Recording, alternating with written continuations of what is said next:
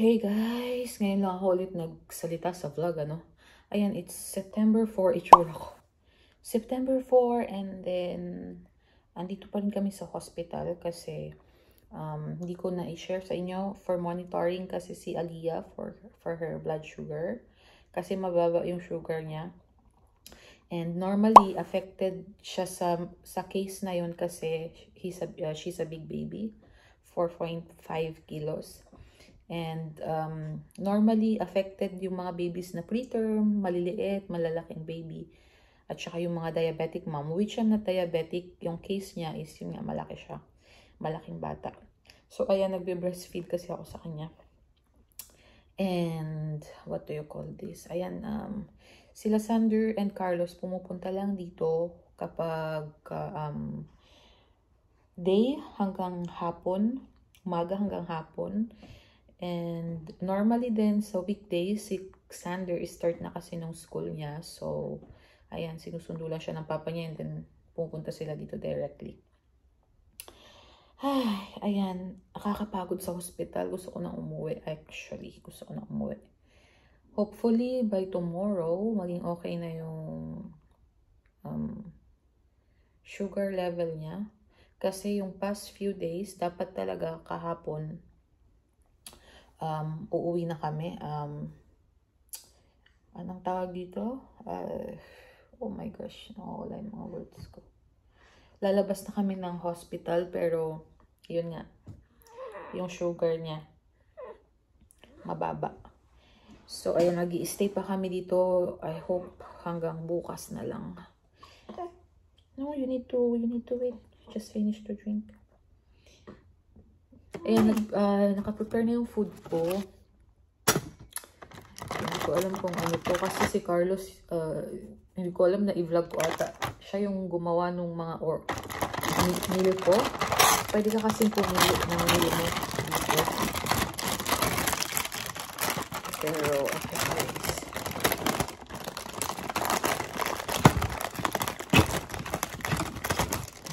Chicken, chicken shop with rice.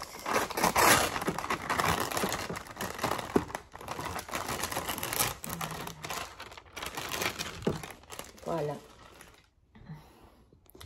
Ayan, chicken, hospital food, rice. And then, meron akong soup dyan. Nag, uh, papalagay ako lagi ng soup kasi breastfeeding ako. So, ayan, I will eat now. Ayan, ito yung ginagawa ko. Binibreastfeed ko siya habang kumakain. Wala masyadong. Yung food namin kaninang lunch ni Sander, ang sarap. Risotto na risotto na chicken. Sarap niya in fairness. Favorite na ni Sander. Sabi niya, alamin ko daw yung recipe. Pang yogurt to eh. Anyways. You okay, Aliyah? Mommy will eat, okay? Hmm. Ayun lang naman yung update ko. Well, everything is fine, pero yung yun lang sa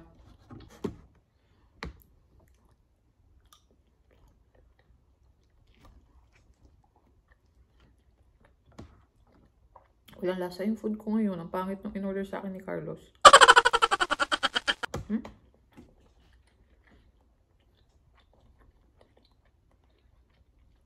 Walang lasa.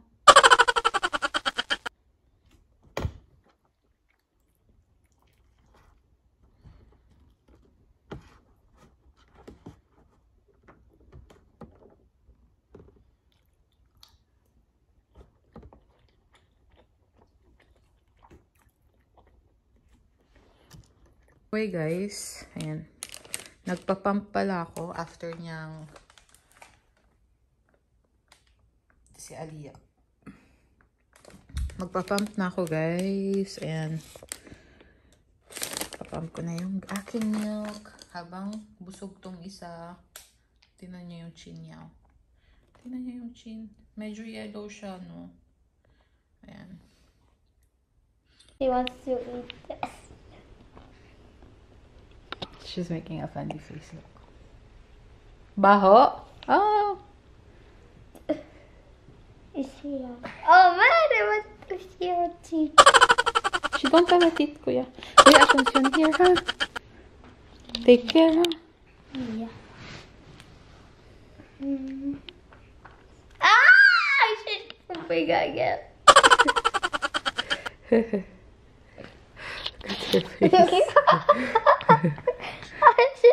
Leah, what are you doing? Aliyah, you're making a lot of funny face. Mm, Aliyah's making a lot of jokes.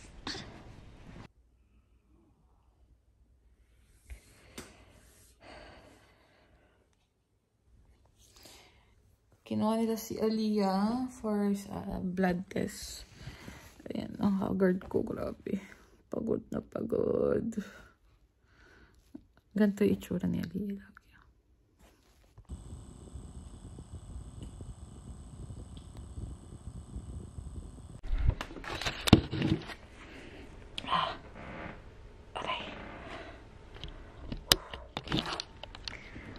So guys, ayan. Oh, it's 10.40 p.m. And, ayan, um, kinuha nila si Aliyah for, um, blood test para sa yellow baby. Kasi medyo yellow yung color niya and yun nga, mataas yung kanyang level. So, ang ginawa nila, ang ginawa nila is, um, ilalagay siya for the for the light for 3 hours para mag-lessen yung kanyang pag-yellow, which I'm not worried about kasi si Sander ganun din naman siya. Pero we use this sa Philippines natural light, natural uh, yung ginagamit natin, di ba? Araw talaga. Pero kasi we're gonna stay, uh, hindi kasi nila kami pwedeng palabasin sa hospital kapag hindi okay lahat sa baby at saka sa akin. So yeah, that's why I'm alone. And manonood lang ako ng Grey's Anatomy. Picture nila. Nag-shower pala ako guys kasi init na init ako. And lagkit na lagkit ako. And I just can't.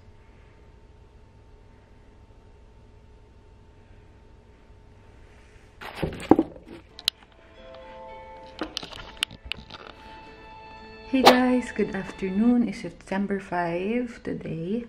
And ayan, um, medyo maganda yung tulog namin ni Aliyah. No, tuloy-tuloy this morning. No, not tuloy-tuloy kasi she have to do um, komplemo. Ayan na nga yung alarm. And ayan, kailangan niyang mag-check na ng blood. Naka-alarm. Yun ang alarm ko. Minomonitor ko kasi gusto ko on time. Eh, Eh, minsan, uh, medyo 30 minutes na late na sila and I don't want. Gusto ko naka on time. And, ayan, wait, papakita ko sa inyo si Aliyah kasi, ano, lasing sa gatas. Kaka-shower lang. Uh, lasing sa gatas. Kaka-shower lang niya. Tingnan nyo, she looks better. Yung color niya. I know. you look better, right? I know, yung color niya. Kasi ba nag uh, light siya sa pang jaundice. But yeah, look at her. Look at her outfit. Wala pa. Hmm? And then yung lunch ko nandyan na. 12. Anyways, tatawagin ko yung um, nurse kasi kailangan niyang mag-blood test. Nga si Aliyah sa bed. And then, me, I will eat. Hindi ko alam kung ano itong pinili sa akin ni Carlos. Walang mga sauce. I think it's a fish with a vegetable. My dessert, bread. This one is so good. And of course, butter. Hmm, I love butter. Anyways, I'm just going to eat habang tulog si Aliyah. Emma, Nina, Julia, Liam, Sacha Lyon, Adam, Naël. Yeah, you know already. Yeah. And then,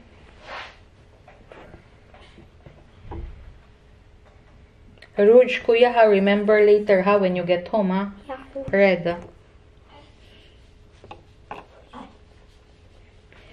And then, the next one, he must also play with his first name level.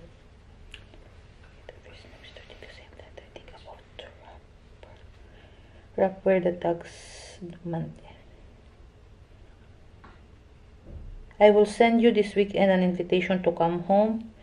Ah, they sent already? They said the code. Yeah. Where is it? I email. Send to me, kuya. Wait, I need to check the the classroom, anak. Yeah.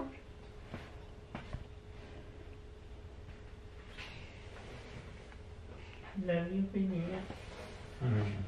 You'll get my crayon now. Daddy didn't bring the crayon, so I don't have a choice. You cannot do anything. You don't. You can't use this one. Yeah, you can. pencil. Can you take care You can bring. Our. I'll take care. I'll take care. You can read. No, I already know what you need to do, anak. Where's my mom? Okay. Aliyah. Kuya oh, Sander is here. Alia, Alia, Take care, huh? peekaboo, peekaboo. Hmm? Alia smiling. Peekaboo, peekaboo. Her face. Are you comfortable, anak? Wait, Yeah. hungry again. If it's like that, she's hungry. Like this. She's hungry. Hmm. You're hungry? No, no, no. Are you hungry? Are you hungry? Yes or no? No, no, no. No, no. Ah! Wait, anak. She's thinking about. Scooping. It's four months, my love. Hmm? Me, I stay four months. Hi guys, umuwi na sila Sander. Ang lungkot ko na naman dito. Mukhang mag stay na naman kami ng 2 days. Naiiyak ako. Kasi, um, yung, what you call this? Yung breast uh, milk ko, hindi siya ganun masyado nagpo-produce. I am so emotional. Hindi siya masyado nagpo-produce and bumababa yung kanyang timbang. And hindi nila kami pwedeng ipalabas pagka hindi talaga well yung... Hindi, wala namang problem. Ah, sabi nila, normal lang na bumaba yung yung kilo ng newborn for the first weeks. And Aliyah is only 5 days old. So, pero kasi yung hindi siya nakaka-latch or, no, no, not latch. Yeah, by the way, I'm still struggling kasi sa mga big breast na katulad ko, ang hirap mag-breastfeed. Alam nyo yan mga mommies pagka may medyo malaki yung ating boobies. So, uh, I'm still trying to find the right position. And ayun nga, hindi siya masyadong nakaka-take ng breast milk kasi hindi pa ako ganun masyado nagpo-produce. Well, it's been only 5 days and I remember before kay Sander, siguro medyo 1 to 2 weeks din. So, I'm just a bit um, sad kasi gusto ko na umuwi and uh, I can't stay here anymore. Anyways, I'm doing my best. I have to pump six times a day. Pero sabi nung nurse ko, tsaka nung midwife ko, pagka stress ako, I have to tell them.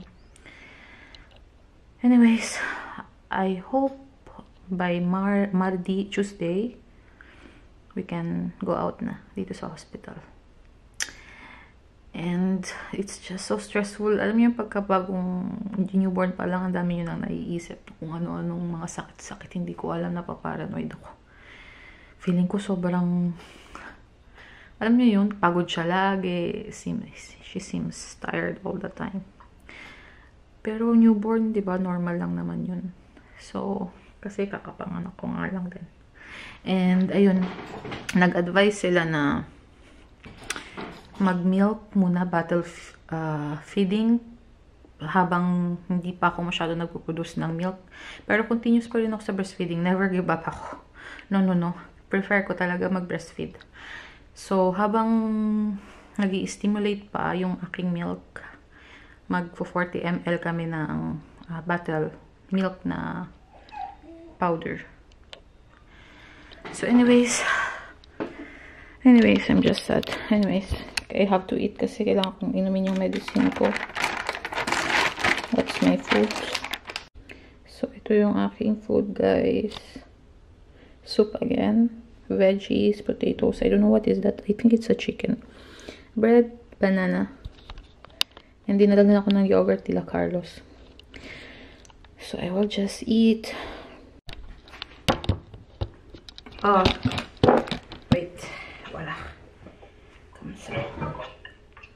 Ha? What you order for Sander and you?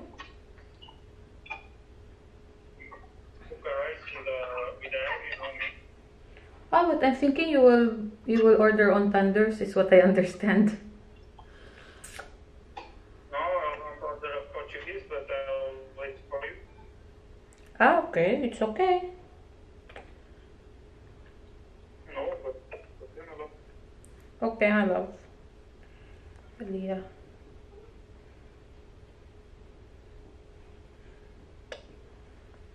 Kuya, what are you doing?